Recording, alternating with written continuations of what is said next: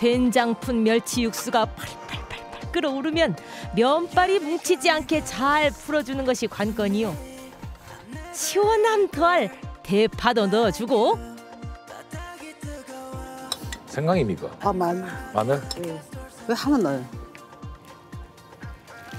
익었어, 됐네. 익었어 익었어.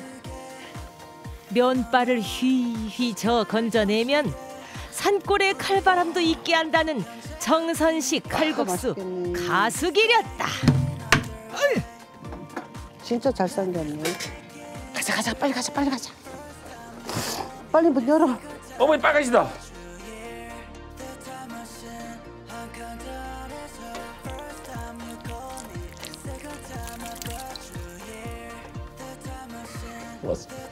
간장을 넣어서. 네 번째 찾은 겨울바다의 맛 정선의 고등어 한상.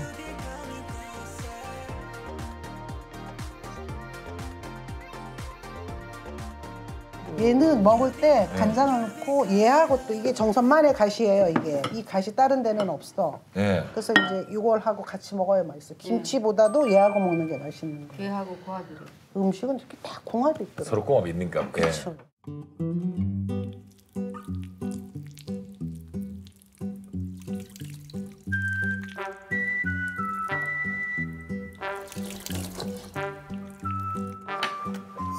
간장을 더 해야지. 진짜 훌륭하다.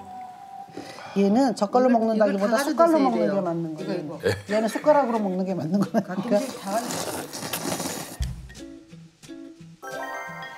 이거 갓김치입니다. 갓. 이거를 잘안 보시니까 숟가락으로 그냥 네, 숟가락으로 먹는 거 이렇게 해서 네. 그제? 예, 바로 그냥 이렇게. 음. 이거 가시랑 얘랑 너무 잘 맞는다. 잘 맞죠? 네. 네. 그리고 이게 부드러운데 가시 씹히면서 아삭아삭한 게 이게 식감 자체가 결이 살아있어 사람도 궁합이 맞듯이 상대 보완을 다 해주네. 네. 예, 국수에서 좀 부족한 거를 이 가시 해주고.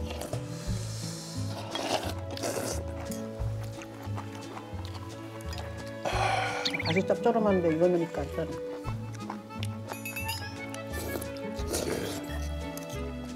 이제 본격적으로 아리아리 정선의 이제 바다의 맛, 예. 예, 고등어를 저희들 한번 맛보도록 하겠습니다. 어, 밥하고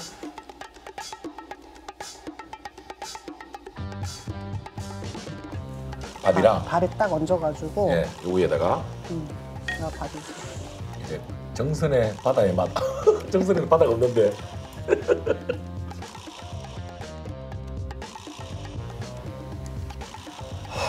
아까 안 짜다 그랬는데 아니 향이도 이- 이게 살 가까이 냄새 맡아 보니까 이 짠내가 납니다. 고등어, 고등어 게 짜. 예, 예. 양념이 쫙 됐다는 거죠. 그 기본 베이스가 또 된장이 들어가가지고 예.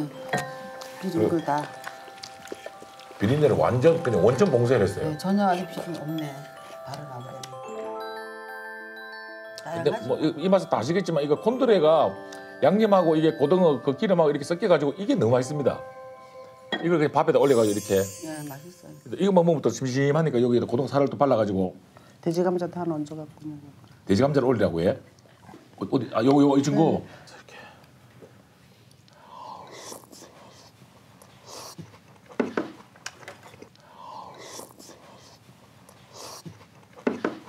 또 감자하고 또 다른 맛이지 맞아요 감자 되면 좀 더 달아. 음.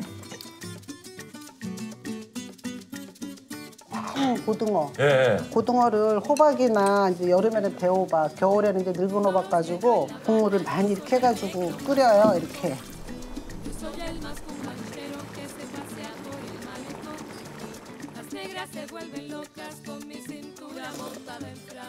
와. 야 호박 이렇게 이렇게까지 시원함을. 호박이 더 시원하죠 다 하고 말하면 넣으면 돼. 음. 아 국물이 너무 좋습니다. 이거. 괜찮죠 예. 요새 어머니 유행하는 게 설거지 먹방이잖아요. 설거지 한 것처럼 다 먹어야 됩니다. 예. 청소를 잘하죠. 콩가루만 넣어가지고 해 먹으면 되지 그래서. 끓이면 또 너무 맛있어.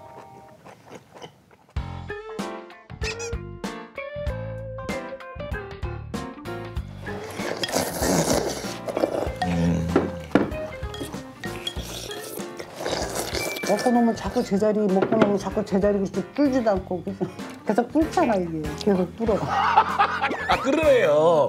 국물이 점점 없어지고. 그리고 얘는 불어 터지고 그러니까 불어 터진다 그래 여기 말고는 아.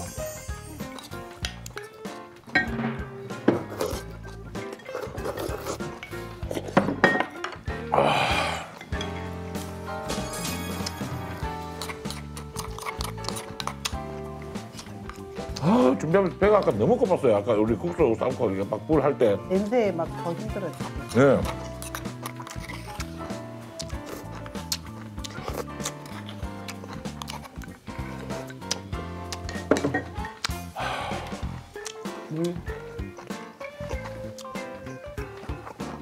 배 한번 만져볼까요?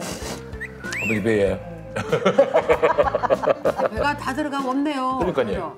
배 없습니다. 아, 할머니가 만져도 괜찮아